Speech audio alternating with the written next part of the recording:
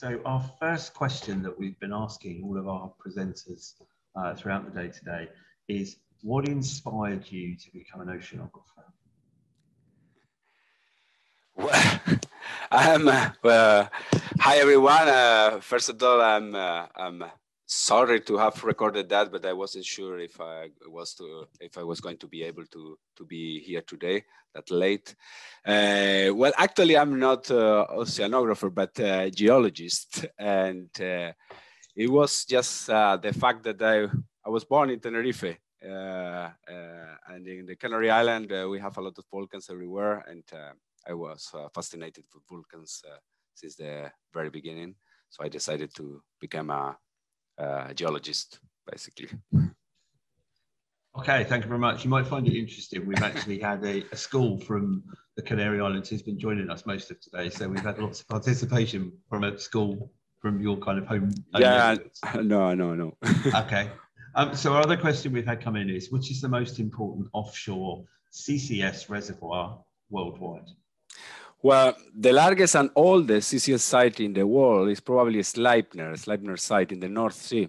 Uh, this uh, CCS site has been operative since 1996, I think, uh, with a CO2 injection rate of 1 million tons of CO2 per year, basically. But uh, the injected CO2 so far only represent less than 0.1% uh, of the total estimated capacity for this site, which is, uh, I think, above uh, 600 billion tons of CO2. So it's a very good reservoir. Okay. Um, another question that we're asking about uh, careers um, is if you had the chance to go back to yourself as a 15 year old what advice would you give about taking your career and becoming a geologist? Do whatever is inspiring you. Do whatever you like, but do it enthusiastically and uh, and uh, uh, and never give up. okay. Uh, uh, how can CO2 induced reactions compromise the integrity of the reservoir in the long term?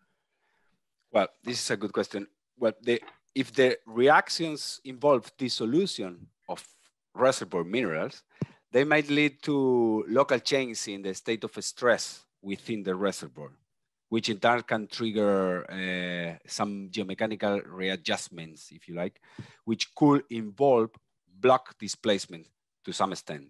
So if the reaction leads to precipitation, uh, eh, this will mostly affect the injectivity, the CO2 injectivity. So that means that the effectivity with which CO2 is being injected uh, is gonna be compromised. Uh, that's why it's uh, so important to conduct simulations uh, in the laboratory. Okay, so are these reactions always a bad thing? Not really. Uh, some rocks are uh, quite kind to incorporate CO2 in their metrics. Uh, the most interesting case uh, is the basalt rock formations. Uh, in basalt rock formation, carbonation occurs in some, in some of them when exposed to CO2, which leads to permanent CO2 storage by mineral trapping. In a project called Carbon Fix carried out in Iceland, uh, researchers from the University of Southampton found that uh, this phenomenon is uh, quicker and much more effective than the, it was ori originally thought, reaching trapping efficiencies over 90% of the injected CO2 in, in just two, two years, more than 95% actually of the injected CO2 in just two years become part of the of the mineral uh, of, of the mineral structure basically. Yeah. So, as a geologist, you've probably undertaken quite a bit of field work or, or expeditions. Which one is is the most important or the, the highlights of your career so far?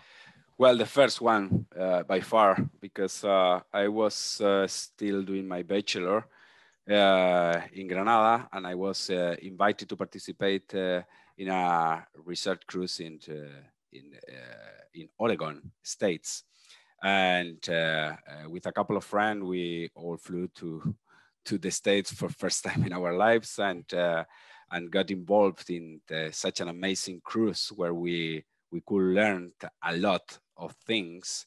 Um, it was a super multidisciplinary uh, cruise, and uh, from that point onwards, I I I had uh, just one thing clear in my mind. It's, uh, it's just I, I, I wanted to be a researcher, basically. So that was beautiful. Yeah. Excellent. Uh, just looking at our um, speakers lounge, we've just had a uh, a question coming from Jose. Um, are there suitable areas to capture CO2 near the UK? Uh, say again, please. I didn't.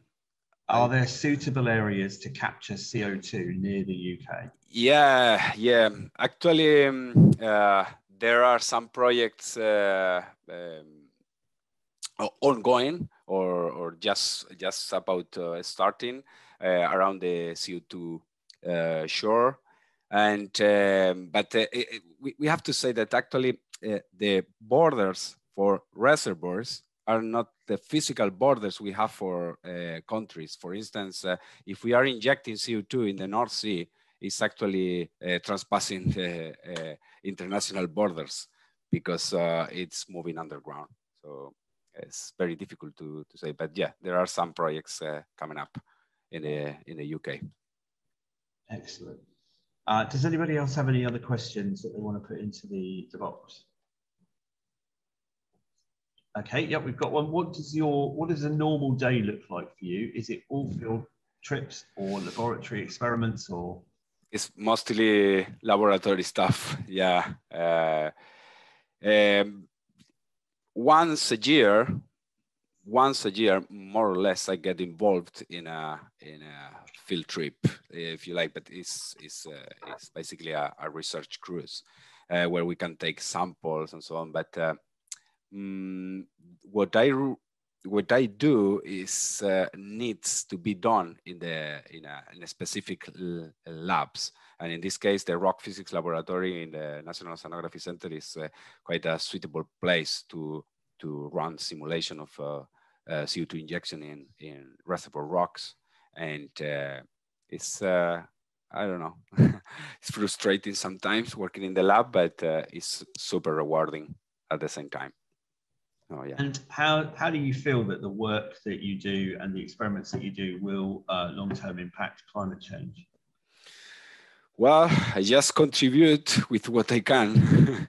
and uh, hopefully, uh, with the data I generate and the, uh, and the interpretations I, I, I conduct with, uh, with the data collected, uh, someone can develop suitable numerical models to, to, to improve the prediction of the CO2 rock interaction during the CO2 uh, storage activities. Yeah. Thank you very much. Bye bye all.